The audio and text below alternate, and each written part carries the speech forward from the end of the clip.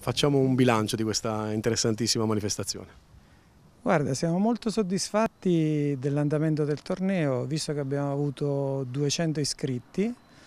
eh, di cui 60 donne, eh, un, un, tabellone femminile eh, ma quasi a livelli di, di 15.000 e, e, le ragazze che, che, giocano questo torneo è in preparazione per il 15.000 che si svolgerà all'Aquila. Da domani ci trasferiamo all'Aquila dove sarà la prima giornata degli internazionali 15.000 dollari femminile tantissime le ragazze, ovviamente molte le italiane, ci fa piacere con la speranza che possano prendere punti per la classifica internazionale e anche tante tante ragazze dall'estero, c'è anche una ragazza dal Cile, in questo momento con il Covid in Sud America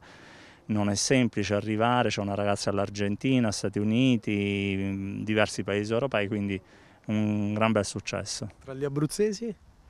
Tra gli abruzzesi abbiamo Anastasia Grimasca che è di Pescara, oramai pescarese a tutti gli effetti, è il numero 8 a livello di tabellone principale e poi ci sono due ragazze del Teramano, Artimedi e Lanciaprima, una ragazza